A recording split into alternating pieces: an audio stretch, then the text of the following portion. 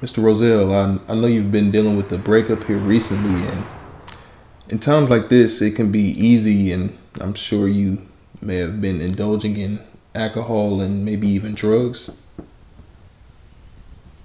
No. No, I haven't. I haven't indulged in any of that, honestly. Um,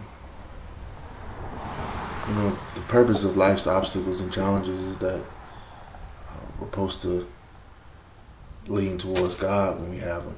You know, God never promises us a perfect life, um, but in this life that we have, it's meant for us to draw closer to Him, and uh, then through Him, we battle our issues.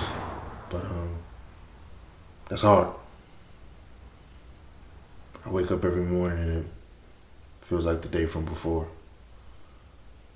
Then I go to sleep at night and all I can think about is the next day. There's a hole in my heart.